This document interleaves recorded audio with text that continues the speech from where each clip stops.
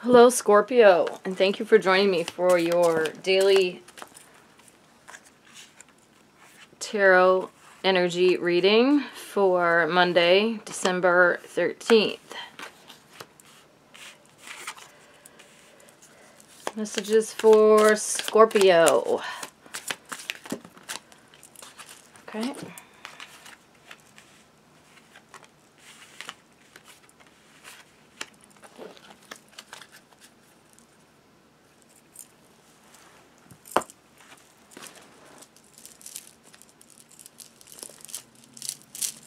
Angels and spirit guides, divine messages for Scorpio.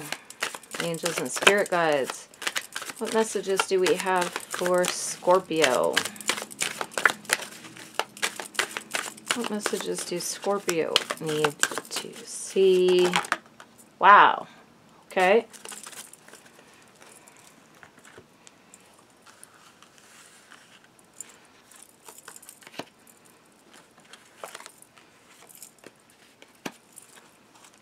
It's a lot, so I'm going to squish some onto that other row.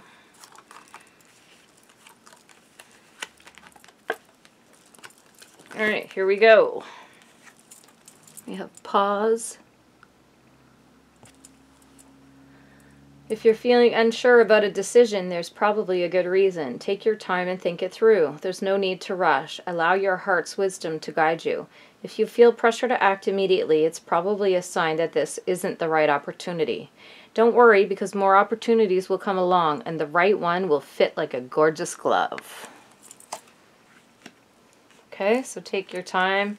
Not every opportunity is meant for you, and that's okay. Be a natural beauty.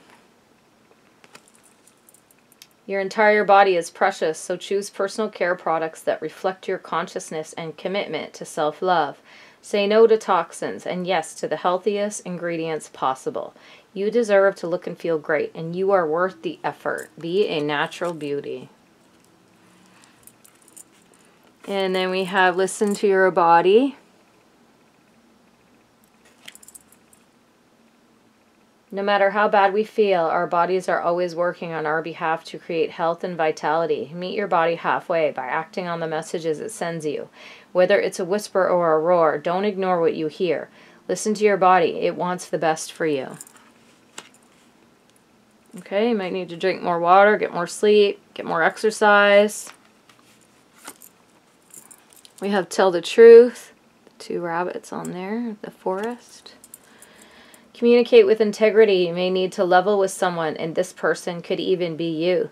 Are you saying you're fine when you don't mean it? Are you swallowing your needs because you don't want to rock the boat?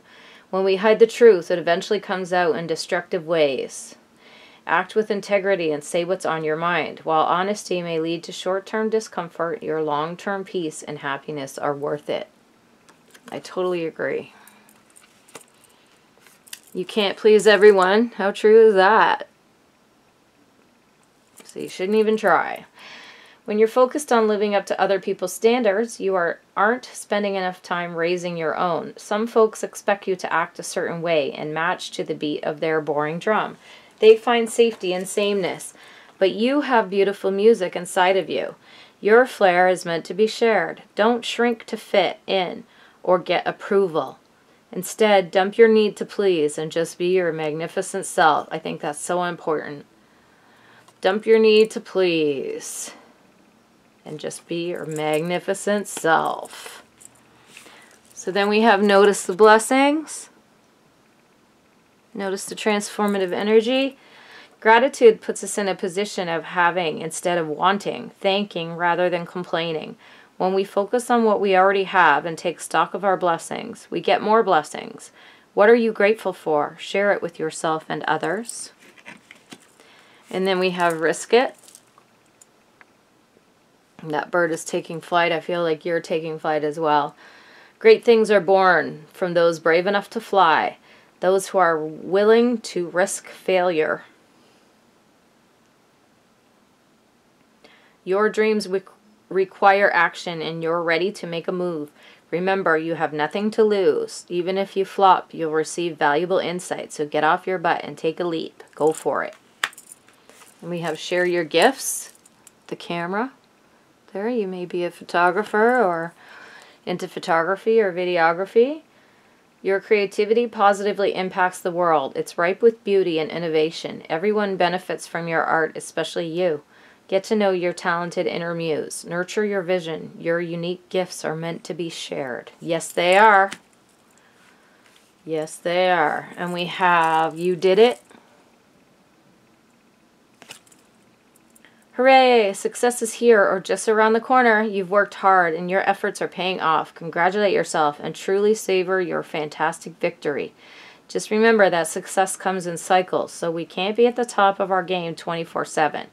We succeed, celebrate, rest, renew, and succeed again. Know where you are in this journey. You did it before and you'll do it again and again. And then we have 39, romantic love.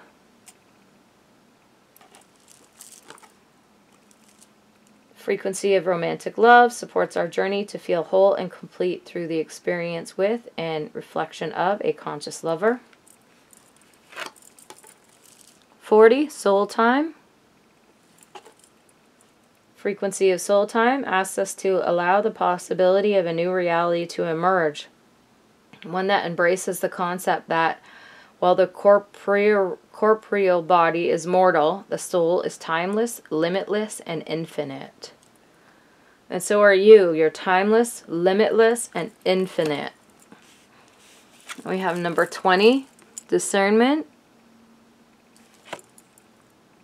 frequency of discernment supports our ability to view the world and the people around us from a place of inner balance and detachment, yet with compassion and wisdom.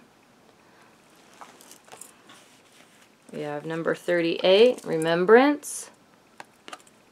Frequency of remembrance supports our memory of everything that we have gone through as a soul and a body, providing us with valuable information and tools to flow gracefully with and in this life.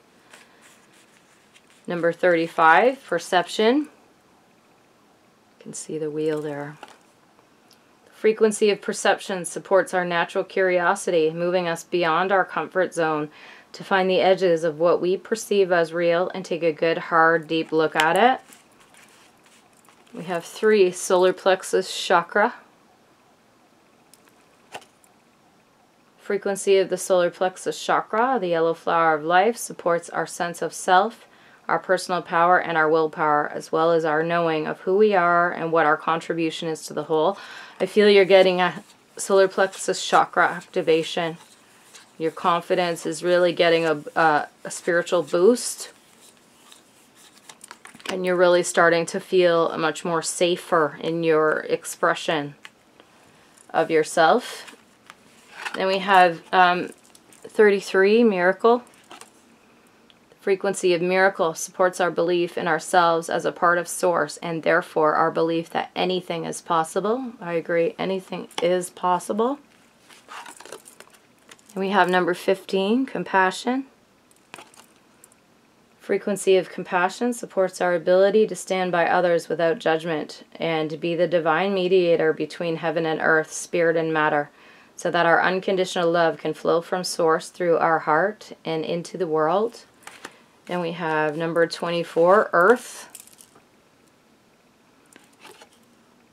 Frequency of Earth activates our deep connection to this physical plane by showing us the beauty of all the aspects of our Great Mother and revealing the more ethereal, spiritual aspects of our nature. You see this echoing green color and pattern in this previous card, Compassion. And then we have, um, I'm going to show you both together up close, actually. They're like mirror images, pretty much. Then we have 31 magic. The frequency of magic supports our intrinsic ability to grow and expand beyond this moment, to move toward possibilities and expressions that are as grand and as profound as we can imagine. All that is, all that is required is our belief in their manifestation. So you have miracle and magic.